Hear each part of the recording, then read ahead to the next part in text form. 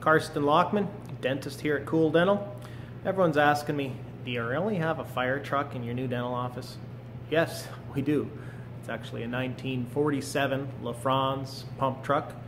We actually have quite a few patients of ours who drove this in Lethbridge fighting fires uh, between 1947-48 up until the very late 70s and early 80s. We have this truck here as a fun play area for your children to feel welcome. Imagine that, your kids wanting to go to the dentist, having a good time in the dentist, enjoying their time there. That's pretty cool. So, thought you'd like to see it. Here it is. It's been fully restored. There's a Lego wall. There's a video screen. They can watch little cartoon movies.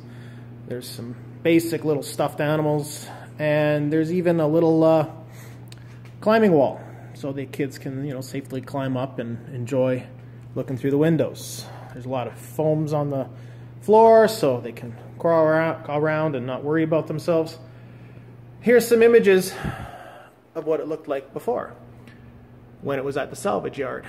All of the original chrome fittings were donated back to the Lethbridge Firefighting Association here in town. And the firefighters restored pump number three to complete full working order. It drives around the parades. You'll see it at community events. The firefighters did a great job.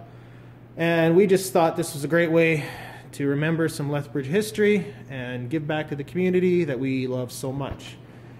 Hope you enjoyed this truck. We sure do. I know your kids will. Have a great day.